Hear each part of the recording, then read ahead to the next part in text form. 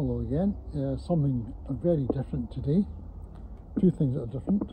One, I don't have a hat on of any kind. And the other thing is that I'm going to do an unboxing of sorts. It's quite nice to get something for nothing from the internet. And the kind people at Saker Saws have sent me something. I'd like to show you what it is. It could be useful for you in the garden or it could be useful for you if you're a car camper, for example. Let's turn around and have a look at this. Here it is. It's a Saker Mini electric chainsaw. I've always been a wee bit frightened of the idea of chainsaws. I think I associate it with massacres. Um, I'm sure it's a useful thing in the garden. I've actually unboxed it already and then I did something with my card. Lost everything. Let's see, what would you get in the box for this thing? Let's talk about the weight of it to begin with. There it is, you can get an idea of the size of it. There it is against my tripod. It's not huge. With the battery, which is there, it comes to 1.1 kilograms in weight. Easily, you know, wielded by one hand. So I'm going to use it in situations where these are maybe not quite up to the job. For example, uh, if I was trying to take away this bit of rose, briar rose, it was huge and I've cut it back already. I'll let you see again how the Saker saw can handle it. So let's have a look at how this thing will deal with it. Um, what else can I tell you about it first? It has got a guard. So this guard here will move as you chop through things. It can take things up to 4 inches, 10 centimetres. So I think that's probably, yeah, that's well within its capabilities. So I'll do that one. What else do we get? We get with it the battery, partially charged, so we'll plug that in and I'll show you it going. Also a little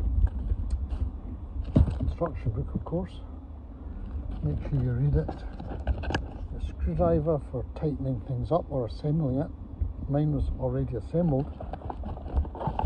You got your charger and a little bottle of looks like lubricating oil. So there you are, there you are, there you are. More, Hmm. again, that's a socket wrench.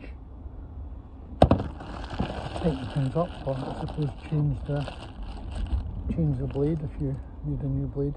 You can buy this lot either as it is, this is about the simplest version of it, but you can also buy it with I think a spare battery and a spare chain at the same time. A bit more expensive.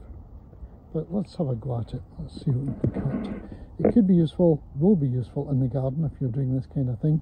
Um, you might find it useful if you're a car camper. If you have a motorhome you're an RV and you go into the countryside and you're cutting up old wood dead wood. Uh, for your campfire at 1.1 kilograms it's a bit too too heavy to carry. You could I suppose if you intended you know, making your way to uncharted territory. Um, it's unlikely, but if you were, you could probably carry it. It's only the weight of a litre of water up and a bit, but um, I wouldn't generally. Okay, let's have a look. Okay, first, let's just put the battery in. Do, do, do, do, probably like that. Yeah, still not exactly long, is it? And then we have to push in a button on the side here, as well as a trigger, and it goes. Otherwise, it won't. So we have to push that in first. There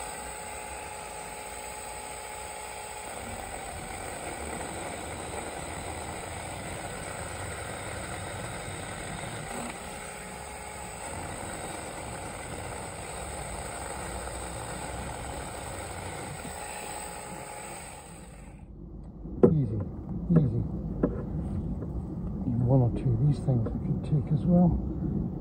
Let's get it from down.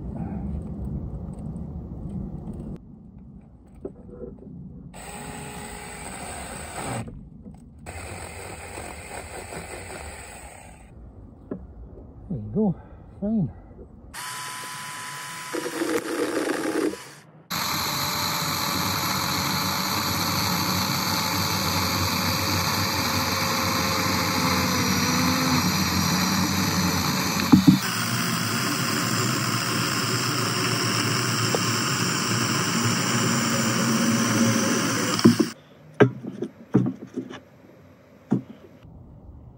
If you're a camper with a van, you'd probably find room for this and you'd find it useful for this kind of thing.